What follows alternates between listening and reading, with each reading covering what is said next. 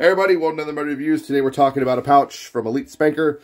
Yes, I know, it's another Amazon pouch, but it's for something specific, and I also was curious, so I decided to grab it.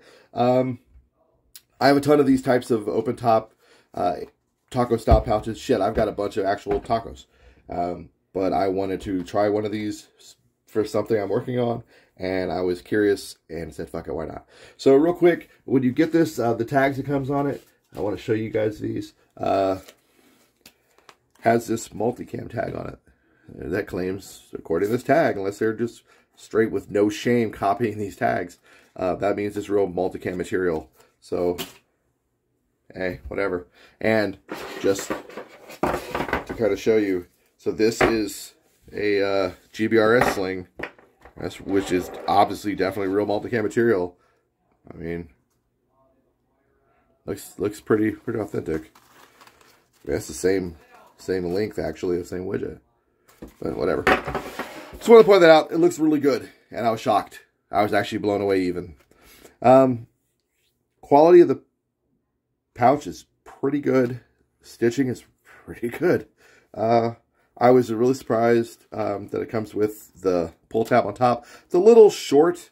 They could have given you a little more length of shock cord, in all honesty. So we've got the uh, Lancer style mag from uh, SOCOM Gear, uh, EMG, e, whatever, you know what I'm saying.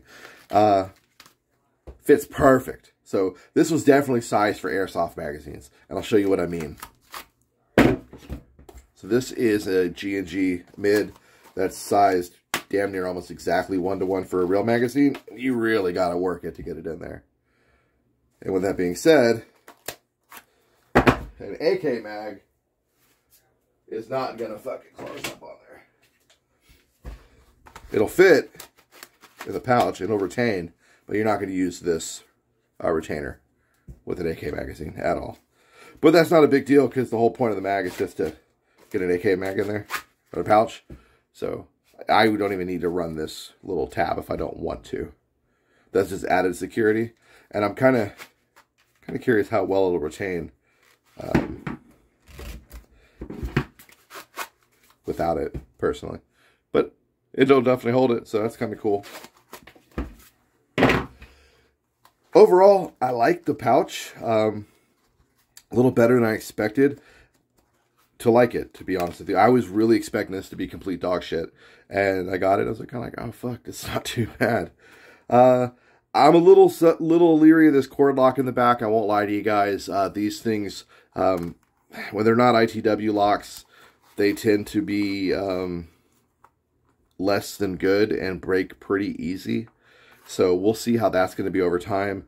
Um, also, this shock cord, uh, a lot of this stuff, if it's not good shock cord, will lose its elasticity really fast over time. It won't be very good. So we'll see. Um, on the inside of the pouch, you have the Elite Spanker tag here. So that's where they hide it. So there, otherwise, it looks like there's no, no badging or tagging on the pouch at all. And then on the inside, you do have, I'm going to bring another light over here so you can see it. Uh, you do have some loop Velcro there and on the back area there. That's to help with like uh, friction and retention of magazines. I'm assuming, if I remember correctly, that's why it's on the HSGIs as well. Or maybe it's to run a lid, I can't remember. But, um, yeah, not too bad. Uh, the other area that might be an issue over time uh, will be these snaps. Um, some of these cheaper snaps can break really easily uh, over repeated use. I've run into that with cheaper mag pouches in the past.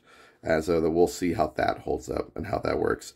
And if that does happen, you just fucking cut these off and put some uh, malice clips back there and you're good to go.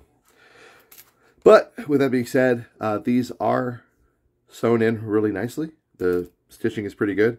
And unlike a real taco, that's one of the differences. It has its own uh, MOLLE clips basically sewn directly onto it. So that is a difference.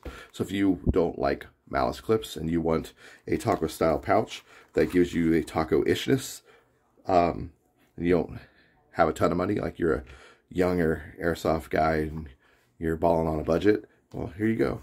You have the uh, MOLLE adapter, molly attachment points back there. And uh, you get your taco-ness without being an actual taco. And it's a lot cheaper. So, duty use, eh, maybe. It might actually work. It's not terrible. Definitely uh, looks the part. It's a real multicam. Um, might require a little TLC to make it work really good. Like I said, uh, this is kind of a really tight fit with a real standard mag. You might have to loosen this up a little bit to get a little more reach or completely replace this top shock cord uh, with some new shock cord. And shock cord's cheap. You can get the stuff off like uh, uh, Mil-Spec, Mil-Spec uh, Monkey. And then I want to say it's like a couple bucks for like a yard, which is like three feet. So definitely can swap that out with some different shock cord. Hell, you can swap all the shock cord on the entire pouch out with a different shock cord if you're really uh, that concerned for next to nothing and then have new shock cord and even a new cord lock and be good to go. So overall, not terrible. I, I would definitely say um, if you're if if you're really on a budget and you want the uh, look and style and functionality of a taco, but you can't afford a taco, why not? Give it a, give it a look, give it a try. Um, if you're trying for something like I'm doing, where it, it kind of actually is something that's necessary to look like your kit half a portion of your kit came off of Amazon, um, then definitely want something like this. So